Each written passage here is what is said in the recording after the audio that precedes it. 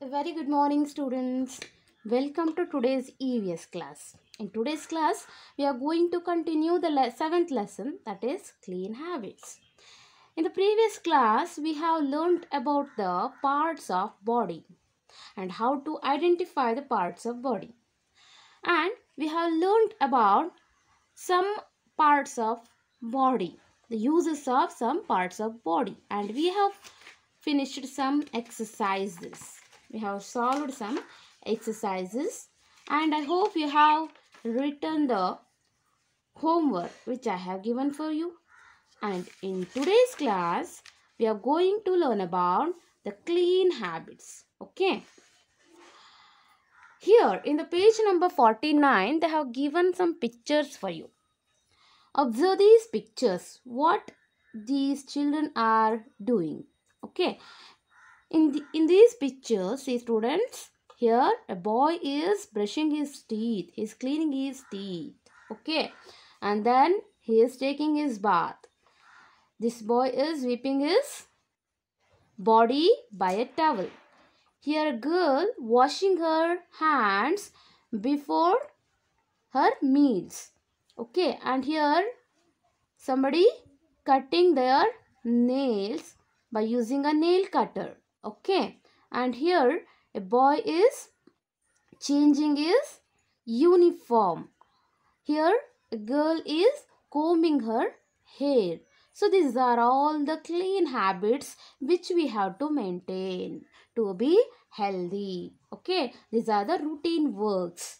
We should do all these works daily. Okay, to be healthy. Okay, here's they have given some questions for you. You have to answer. Answer these questions. See here students, I have written answer also for you. Just learn this. Okay. Answer these questions. What do you use to brush your teeth? Now only we have seen a picture in that a boy was brushing. He was cleaning his teeth. How he was cleaning his teeth students? What we need to clean our teeth? We need, we use toothbrush to brush our teeth. What we need students? We use. We need toothbrush to brush our teeth. Okay, now come for the second question that is what do you do? What do you use to cut your nails? We use nail cutter to cut our nails. Okay, third question what do you do before having your breakfast? We wash our hands before having our breakfast. Okay. What will you do as soon as you come home from school?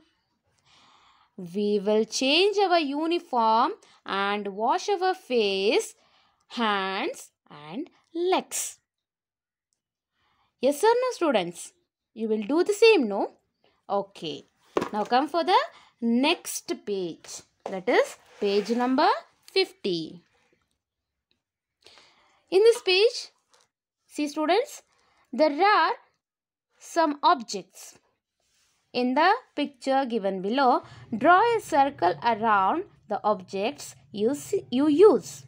See, here they have given pencil, nail cutter, spoon, book, a makeup kit, towel, huh?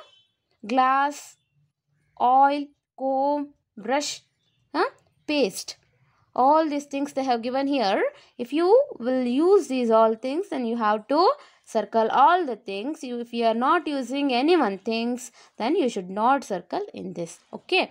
Now come for the next one. Mime these actions. You have to mime. You have to act like this. Brushing your teeth. Act now, students. Okay. Bathing. Okay. Sorry. Combing hair. Okay. Bathing. You have to act like this. Okay. Mime like this. Whipping the body. Washing face. Okay. Cutting nails or trimming nails. Okay. Washing legs. Okay. Washing hands. praying. Very good.